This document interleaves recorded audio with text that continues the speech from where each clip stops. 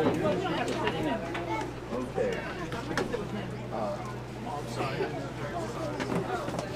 We can turn a couple of these facing each other if you want. Oh, that'd be good. That. That'd be great. We can do that. All right, do you want to step out here a minute? Oh, that's awesome. Oh, yeah. There's a couple facing. Here's a couple here. I'll have to work on that one to turn it around, face the other way. This one? This one. We got Andy, more up in go here. We'll sit with her for a little while.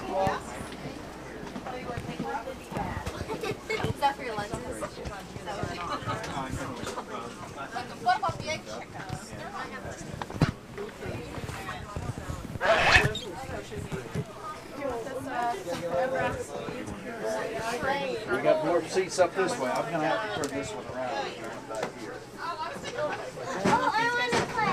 Let's play.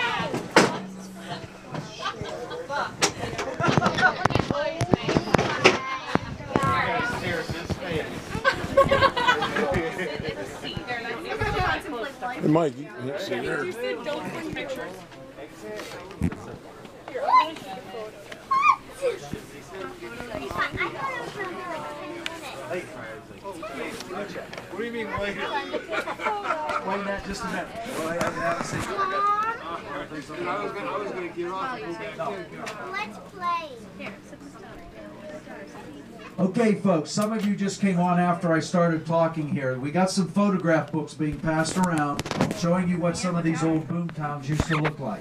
There was a big absence of trees in this valley. They cut down trees to make derricks and houses and build barges, build wooden barrels. They used every bit of wood they could for everything. Now, uh, so look at some of those. It's a lot different than what you don't see today. It's not even muddy out there like it used to be. A couple